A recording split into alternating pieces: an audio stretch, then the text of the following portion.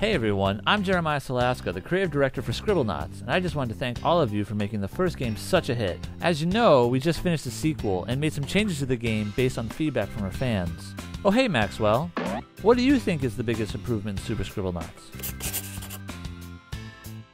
I agree. Let's talk about what changes we made. Super Scribblenauts offers control using either the stylus or the directional pad. Watch Maxwell stop as soon as I lift the stylus off the screen. No more jumping off ledges. Maxwell will also stand in place when you're moving the camera around the level. In addition to stylus enhancements, we've added directional pad movement as well.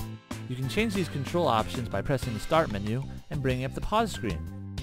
Move Maxwell left and right using the control pad and jump by pressing the A button. Close call, but you did it. Well, thanks for watching. We really hope you enjoyed these improved controls.